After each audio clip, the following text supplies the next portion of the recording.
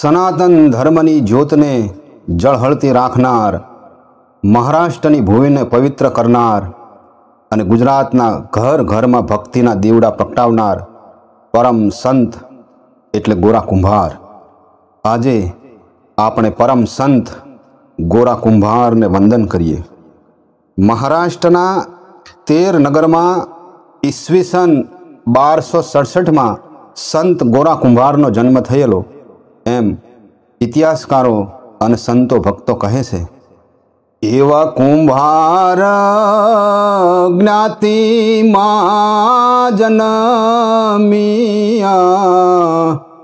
એવા કુંભાર જ્ઞાતિમાં જનમિયા. એજી કરતા માટીનું કામ એવા કુંભાર જ્ઞાતિમાં જનમિયા. સેવા રે કરતા સાધુ સંતની એવી સેવા રે કરતા સાધુ સંતની. એજી સમરે શ્રી ભગવાન. એવા કુંભાર જ્ઞાતિમાં જનમિયા. સંત ગોરા કુંભારને તેમના માતા પિતા પાસેથી જ નાનપણમાં ભક્તિનો વારસો મળેલો. તેમના માતા પિતા વાર કરી સંપ્રદાયના પરમ આરાધ્ય એવા ભગવાન વિઠ્ઠલનાથની ભજન ભક્તિ કરતા. પૂર્વ જન્મના પુણ્યના પ્રતાપે યુવાન વયે સંત ગોરા કુંભારના વિવાહ, વિમલા, અનુકૂલા એવા સંસ્કારી સન્નારી સાથે થયા હતા. બંને પતિ પત્ની શ્રી હરિ ભગવાન વિઠ્ઠલની ભજન ભક્તિ કરતા, પોતાનું સ્વકર્મ કરતાં કરતાં ભગવાન વિઠ્ઠલનું ધ્યાન ધરતા, પોતાનો માટીના વાસણો બનાવવાનો ધંધો કરતાં કરતાં સાધુ સંતોની સેવા કરતા અને પ્રભુ ભજન કરતા. પ્રભુ કૃપાથી તેમને સંતાન સુખ પણ પ્રાપ્ત થયેલું. બાળકની બે વર્ષની ઉંમર છે. નિત્ય ક્રમ પ્રમાણે એક દિવસ સંત ગોરા કુંભાર પોતાનું કામ કરવા તૈયાર થયા. એ જ વખતે તેમના ધર્મપત્ની બહાર પાણી ભરવા જાય છે. બે વર્ષના એ લાડકવાયા બાળકને ગોરા ભગતની પાસે મૂકી પોતે પાણી ભરવા ગયા. પાણી ભરવા ગયા ત્યાં થોડું મોડું થયું. આ બાજુ સંત ગોરા કુંભાર વિચારે છે કે ભંડારી ક્યારના પાણી ભરવા ગયા છે? હજી આવ્યા નહીં. આ દીકરો મને હાચવવાનું કહીને ગયા, હવે મારે કામ કેમ કરવું? અને ક્યારે મારા નાથનું ભજન કરવું? દીકરાને એક બાજુ બેસાડી, માટીના ઢગલા પર પાણી નાખી, ઢગલા ઉપર ચડી અને માટી ખૂંદવા લાગ્યા. માટી ખૂંદતા ખૂંદતા ભજનનો તાર લાગ્યો. ભજ ગોવિંદમ ભજ ગોવિંદમ, ભજ ગોવિંદ ગોવિંદ ગોપાલા, ભજ મુરલી મનોહર નંદલાલા. ભગવાન મુરલીધરમાં તલ્લીન થતાં જ શરીરનું પણ ભાન ના રહ્યું અને દીકરો રમતા રમતા પિતાના પગ પાસે આવ્યો.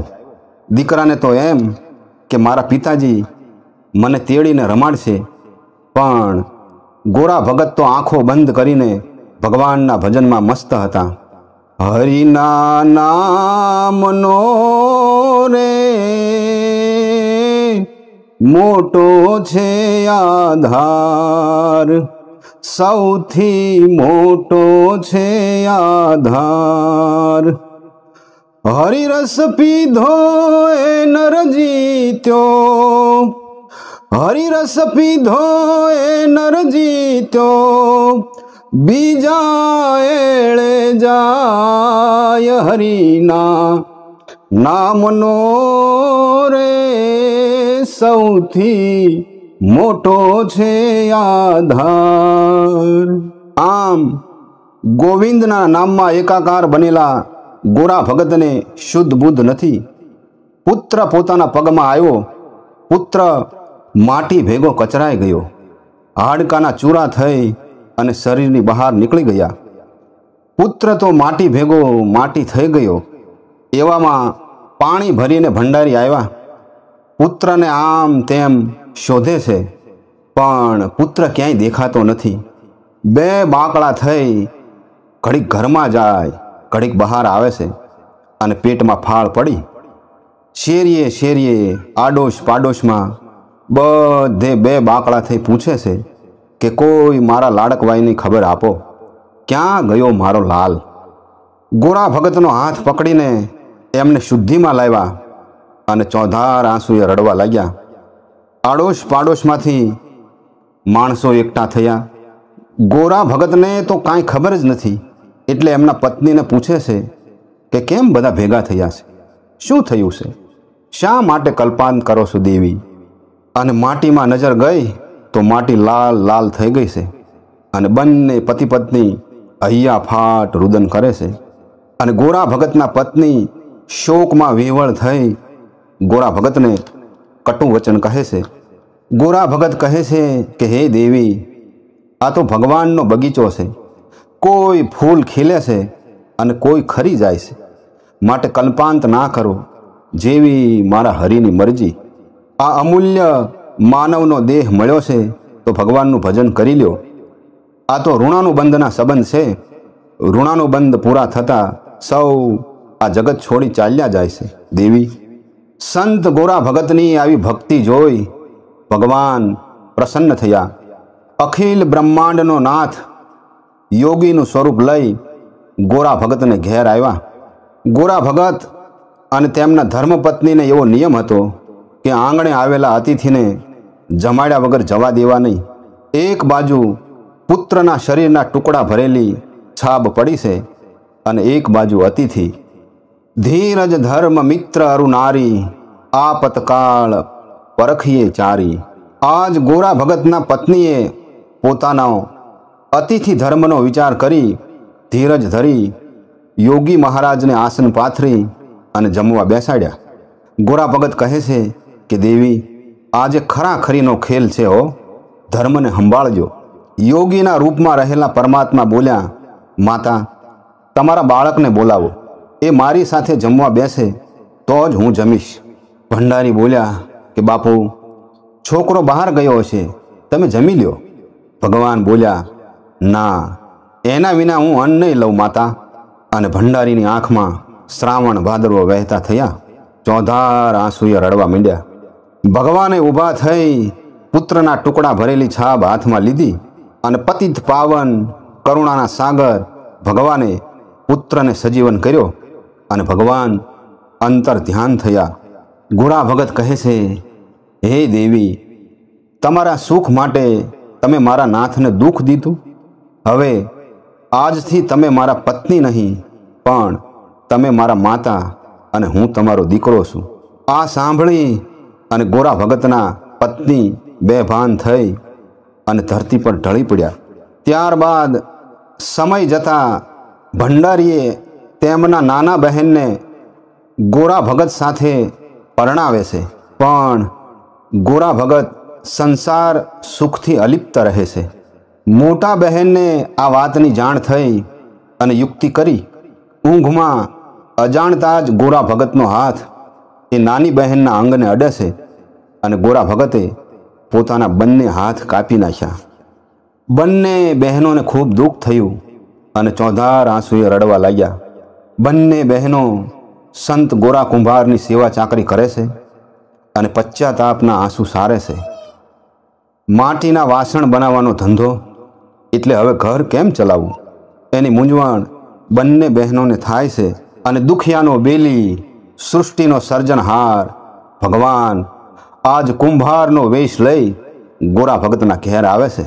ગોરા ભગતના ઘેર મજૂર થઈને મજૂરી કરે છે. એક વખત ભગવાન ગોરા ભગતને પૂછે છે કે તમારા હાથ કેવી રીતે કપાયા? ગોરા ભગતે ગૂઢ ભાષામાં જવાબ આપ્યો કે, કામરૂપી ગધેડો મારા હાથ ખાઈ ગયો. જવાબ સાંભળી ભગવાન પ્રસન્ન થયા. ભગવાન ગોરા કુંભારના ઘેર જાત જાતના વાસણ ખડે છે. ગોળી, ગાગર, કુંડા, ગટકુડી, તાવડી, ગોળા કોડિયા, કુડી, દોણી, માટલી, માટલા એવા ઘણી જાતના ઘાટ જોઈ સૌ લોકો વાસણ લેવા આવે છે. જેણે આખા વિશ્વનો ઘાટ ઘડ્યો એ પરમાત્મા આજે ગોરા ભગતના ઘેર માટીના વાસણોનો ઘાટ ઘડે છે. એક વખત સંત નામદેવ ભગવાનનું ભજન કરતાં કરતાં પોતાના ભક્ત મંડળ સાથે ગોરા ભગતના ઘેર આવે છે. વિઠ્ઠલ વિઠ્ઠલ, વિઠ્ઠલા, હરિઓમ, વિઠ્ઠલા. સંત નામદેવ ભગવાનને ઓળખી જાય છે અને ગોરા ભગતને ભગવાન પાસે ચાકરી કરવા બદલ ઠપકો આપે છે. સંત નામદેવ, સંત ગોરા કુંભાર અને બંને સ્ત્રીઓ ભગવાનને વંદન કરે છે. ભગવાન ગોરા ભગતને એના હાથ પાછા આપે છે. ભગવાને સંત ગોરા કુંભારને ગૃહસ્થાશ્રમનો ધર્મ સમજાવી, બંને સ્ત્રીઓને સ્વીકારી અને સંસાર રથ ચલાવવાનું કહ્યું અને ભગવાન અંતર ધ્યાન થયા. સનાતન ધર્મની જ્યોતને જળહળતી રાખનાર, જેના ઘેર ભગવાને ચાકરી કરી, એવા પરમ સંત ગોરા કુંભાર, તેમના બંને ધર્મપત્ની અને જેને ભગવાને જીવતદાન આપ્યું. એ પુત્ર અને સંત નામદેવને આજે આપણે ભાવથી વંદન કરીએ.